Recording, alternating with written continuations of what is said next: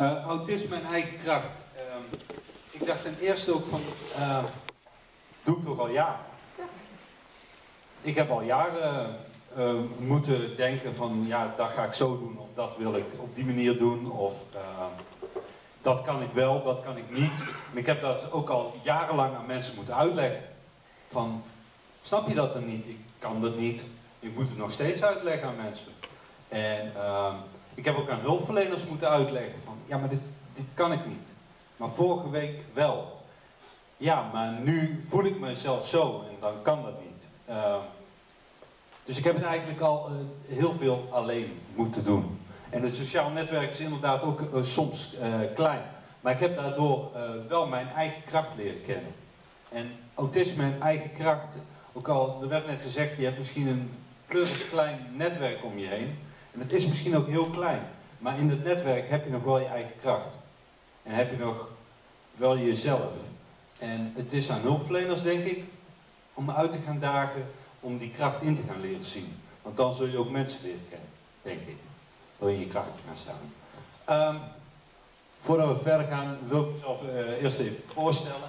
Ik ben uh, Gijs Horvers, uh, 1978 geboren, ben nu 33 en uh, ik ben een Brabander. Uh, heb ik er maar even bij gezet voor als je het accent niet zou horen.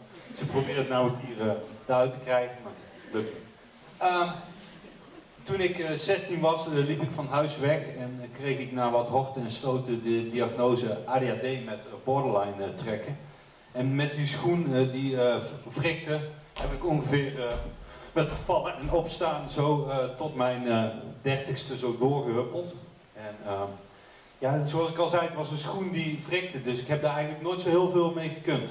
Ze hebben wel allerlei dingen gezegd, uh, dat ik heel erg druk was. Ik ben gewoon heel erg enthousiast. Uh, dat ik borderline trek had, ja, was als structuur wegviel, werd duidelijk toen mijn eerste vriendinnetje het uitmaakte, dan raakte ik in paniek.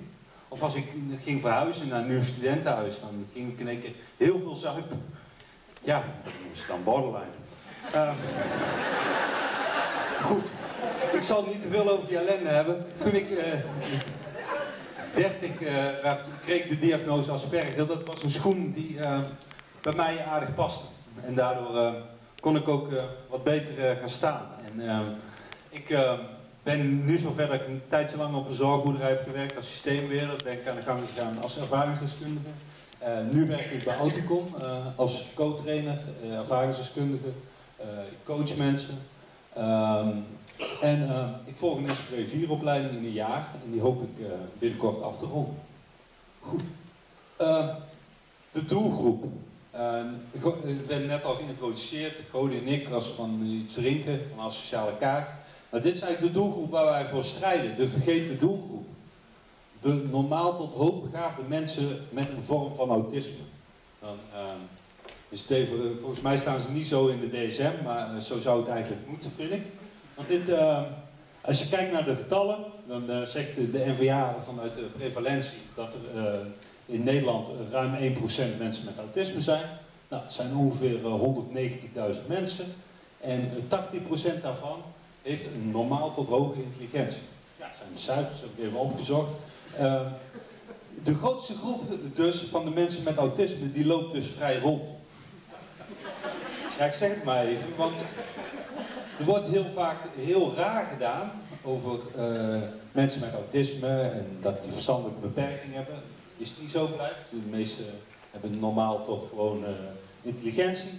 En uh, ze lopen dus vrij rond. Dat wil dus zeggen dat u ze bij de bakker kunt tegenkomen. Niet alleen in uw instelling. Kunt ze bij de bakker tegenkomen of in de VVD of op straat. Ehm, dat betekent dus ook dat zij mee zorgen dat uh, onze infrastructuur hier in het land werkt. Dat betekent dat uh, ik iemand ken bij fraudepreventie, uh, die daar zorgt dat wij niet frauderen met uitkeringen. Dat betekent dus dat ik iemand ken die op een groot cruiseschip werkt en daar zorgt dat we de Amerikanen mooi kunnen varen. Want hij is namelijk kapitein van dat schip. Dat betekent dat ik iemand mag kennen die bij Mediant werkt Die zit hier en die werkt daar als ervaringsdeskundige en die helpt mensen mee daar.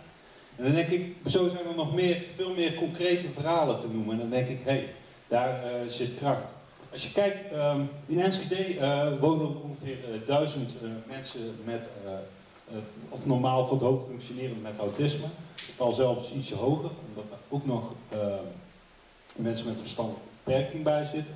Maar goed, dat is de doelgroep. ik wil jullie uitdagen, zeg maar, ga iets voor die doelgroep doen. En hoe dat gaat, dat ehm, vertel ik nu.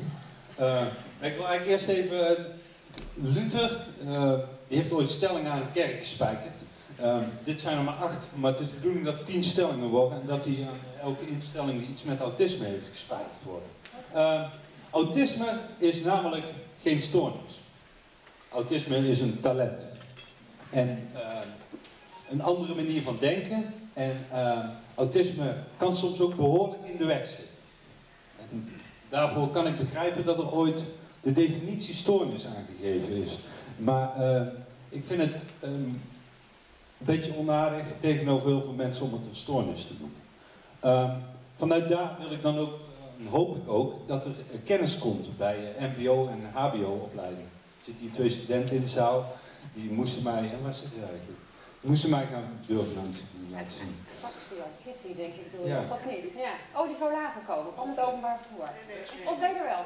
Ja, daar, oh, ze zitten er bovenaan. Ach, ja, ook gingen mij interviewen en ze gingen mij vragen of ik ook kon tanden poetsen. He?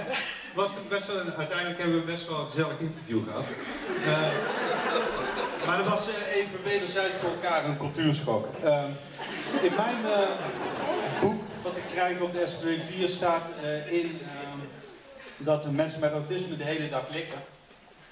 En uh, dat ze met bordjes draaien en alleen maar uh, iets uh, met andere mensen communiceren zodat ze iets van hun gedaan kunnen krijgen. Dus ik wil straks allemaal van jullie 10 euro. We hebben dat ook gehad. Um, ik hoop dat mensen gaan kijken naar de oorzaak uh, van, van, gedrag en niet alleen maar naar gedrag. Nu wordt er vaak naar mensen gekeken puur naar de overprikkeling. Dat is irritant gedrag. Ja, dat kan inderdaad. Maar de oorzaak is dat iemand overprikkeld is. Uh, ik ga er daar nog meer over uitleggen, maar ik hoop dat er dus meer naar oorzaken gekeken wordt. En dat er altijd een plan B is. Ik, uh, geef trainingen samen met Marion Kuipers van Auticom. En ik ben in instellingen geweest waar, waar mensen dagbesteding deden en eh, nooit op vakantie mochten. Want ja, zou toch de structuur, doorbreken, want hij heeft autisme. Hij wilde zo graag een keer naar het dorpje. Ja, kon niet. Plaats als ze hem ingetraind hadden en eraan gewend hadden, dat er ook mogelijk is dat iemand ooit vakantie krijgt en uitgelegd wat dan vakantie is, daar een half jaar over gedaan of over een jaar. Iedereen is leerbaar. Het blijkt uit recent onderzoek dat motivatie veel belangrijker is als uh, verstandelijk vermogen. Dus, uh, ander voorbeeld. Iemand die uh, altijd hamertjes uh, wilde maken. En die deed alleen maar hamertjes maken. Maar toen waren de hamertjes op en toen flipte diegene. En toen vroegen ze, wat moeten we daar nou aan doen? Nou, je had een twee jaar van tevoren moeten beginnen en me vertellen, ja weet je, spijkers, die zijn ook erg cool en die horen bij een hamer. En als dan, dat vertel je twee jaar lang en iemand denkt uiteindelijk, oh, zijn hamertjes op zijn. Nee, spijkers, ja, dat is wel cool. Hebben ze me al twee jaar verteld. Sommige dingen zijn uh, best simpel. Uh, ik hoop ook dat er niet veel, uh, nou, zei Angela in het begin ook al, niet veel gepraat wordt over, maar gepraat wordt met. En ehm, ja, vooral dat er, uh, heb ik recentelijk nog gelezen, de Telegraaf uh, onderzoek. De beeldvorming in de media sloeg ik al over. Maar ehm, in de Telegraaf stond er, uh, autisme, of Asperger is de meest gewelddadige ehm, vorm van autisme. Dat was over die jongen in Rotterdam, dus ik heb nou ook een geweer bij. nee, maar dat is toch heel erg? Ik ken mensen met autisme die hebben er echt die dag over nagedacht. Zou ik morgen wel naar mijn werk gaan? Misschien heeft iemand gehoord dat ik Asperger heb. Het is een uitdaging, denk ik, uh, aan ons, in het bijzonder aan de mensen met autisme, om ons te laten zien en onze stem te laten horen. Uh, en ook dat wij uh, mensen zijn met een vorm van autisme. En niet, tenminste in mijn beleving, niet autisten. Want iemand die uh, mank loopt, dat is ook niet een manke. Dat is iemand met een mank been. En iemand die doof is, is geen uh, doven, maar iemand die last heeft van het gehoor. Uh, kortom, uitdaging. Laat je zien, laat je horen. Iedereen. Ik onderbreek je heel even om je te herinneren aan dat er nog vijf à zeven minuten zijn. Ga even wat sneller, denk ik. Uh, een klein stukje theorie. Kennis is macht, zegt mijn vriend Cody altijd. Dus gaan we even een klein stukje theorie. Overprikkeling. Uh, ik merkte dat er heel weinig kennis is over overprikkeling. Daar had ik met Angela ook over. Ze zei, nou vertel het dan even heel kort. Dan hoor ik net vijf minuten, dus dat wordt echt heel erg kort. Ehm, er zijn heel veel verschillende theorieën. Ik hoorde bij mij op school, heb ik laatst een vragenrondje gedaan. Iemand zei, ja, ik weet niet, ja, dat is als ze heel agressief worden. Dan zijn ze toch overprikkeld. En een ander die zei, uh, ja, nee, daar hebben wij zeven stappenplannen voor, maar dan moet ik altijd iemand roepen. En die houdt dan een map bij en dan kijk ik daarin en dan weten we wat overprikkeld is. Ik zeg, nou, ik word er bijna overprikkeld van. Um, we hebben daar bij Autocom in de trainingen gebruiken we altijd een, eh, een drie, drie fase model. Um, dit is uh, fase 1, noem ik altijd de weide voor de dames onder ons. Dat is uh, waar je lekker op je strandstoel zit, in de tuin. Voetjes omhoog, rozeetje erbij en uh, tijdschriftje lekker lezen. Uh, dat, voor iemand met autisme is dat een mo hele mooie uh, referentiefase. Want dan weet je namelijk wat je doet als je goed bent. Als het goed gaat. Dus dan weet je hoe je je voelt, hoe je spierspanning is, hoe je haren zitten. Of je vlekken wel of niet in je nek hebt of zo. Uh, fase 2. Dan krijg je al langzaam te veel prikkels. Het gaat soms heel erg snel, van 0 tot 100. Dat kan heel langzaam gaan stijgt zo langzaam. Gedrag is dan ook vaak, lang, wat dan langzamerhand ontstaat, niet uit onwil, maar uit onmacht. En uh, er is dan ook steeds meer eigen regie mogelijk. Uh, praten en bewegen ehm, zorgt dan alleen voor meer prikkels. Dus als je dan langs iemand gaat lopen, hé hey joh, weet je wat ik moet doen? Als je nou even daar gaat zitten en uh, kom, ik doe wel arm om je heen joh, het komt allemaal wel goed. Dan denk ik dat dat alleen maar voor meer onrust gaat zorgen. Uh, oplossing is creëer uh, rust en ruimte.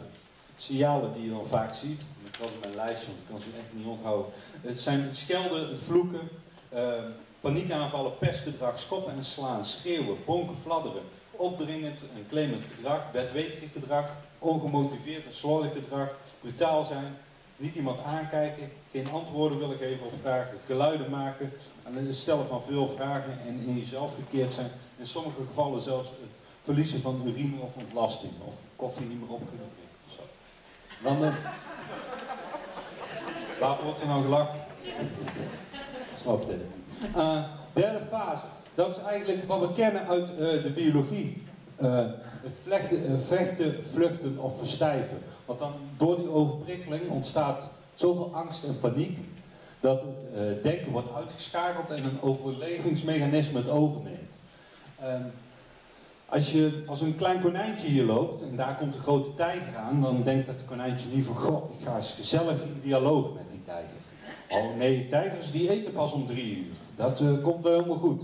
Ik kan niet rustig blijven zitten. Nee, dat konijntje, dat verstijft dan. Die gaat liggen met zijn poten omhoog en denkt, ik doe of ik dood. En als het een uh, hoefdier is, zoals op een paard, dan denkt hij, hey, ik ga heel snel rennen.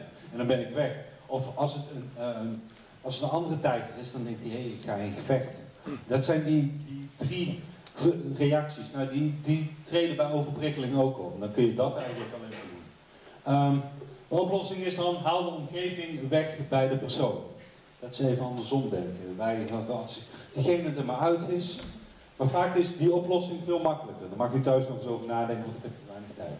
Uh, denk ook in mogelijkheden en uh, niet in onmogelijkheden. Gaan nu heel vaak uit van, oké, okay, autisme, spectrumstoornis. Dus dan gaan we uit van stoornis, het woord zegt het al. Maar proberen ook eens mogelijkheden te zien, wat iemand wel kan. Uh, we hebben daar mogelijkheden, diagrammetje heeft uh, Godi bedacht. En die heb ik samen even uitgewerkt. de 10% regel noemen we dat ook wel. Wat wij samen nodig hebben om een stichting te runnen. Nou, dat kun je ook gebruiken als je taart gaat bakken. Um, dit is Cody. Cody die heeft uh, heel veel talenten. Cody zit hier ook, dus je kunt straks ook vragen naar zijn talenten. Hij kan ook uh, lekkere cocktails maken. Uh, maar hij heeft ook voor, het, maar, voor runnen van stichting, kan hij bijvoorbeeld heel goed plannen schrijven.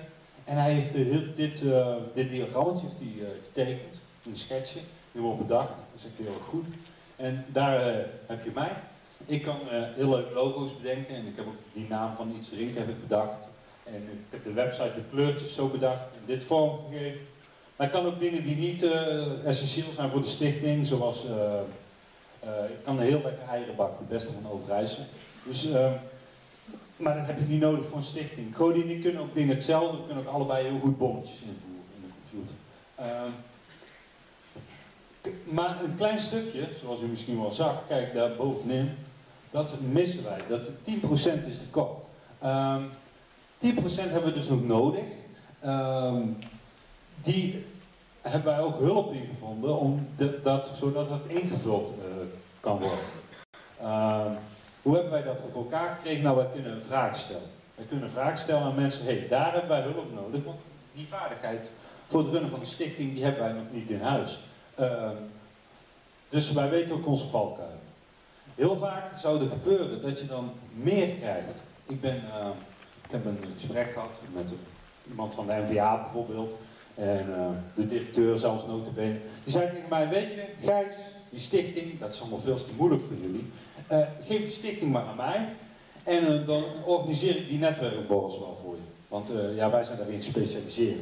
Dus die, die ging helemaal over dat vierkant heen die nam misschien ook wel mijn eieren bakken over. En dat is een beetje wat in veel hulpverlening ook gebeurt. Die leveren niet die 10%, maar die leveren 120%. Normaal als je echt vet zou betalen, dan zou dat mooi zijn. Maar in dit geval uh, leren mensen nooit uh, nieuwe talenten aan. Um, wat... mensen breien, Gijs? Ja. Wat zijn nou de lessen hieruit voor mensen met autisme? Leer vragen stellen en je valkuilen kennen. Um, voor hulpverleners zijn de lessen hieruit, leer doorvragen. Uh, en niet invullen voor een ander en niet uh, het gesprek overnemen. En de hele taak van iemand. Uh, tot slot nog even, wil ik nog drie initiatieven even pluggen. Dat is Autisme ten Top. Beeldvormers campagne Autisme en Werk. inmiddels in Overijssel geweest, maar gaat nog naar Enschede. Of gaat nog naar Eindhoven straks in Utrecht. Auticom, nou wij zijn wij geven cursussen over autisme en uh, coachen ook mensen. En we hebben het, uh, ja, keurmerk niet, maar de intentie om autismevriendelijk te zijn en ook zo bedrijven te trainen en te coachen. En natuurlijk iets drinken, netwerkborrel. Uh, mocht u daar meer informatie willen, kom vooral even bij mij bij Code. bedankt voor de aandacht.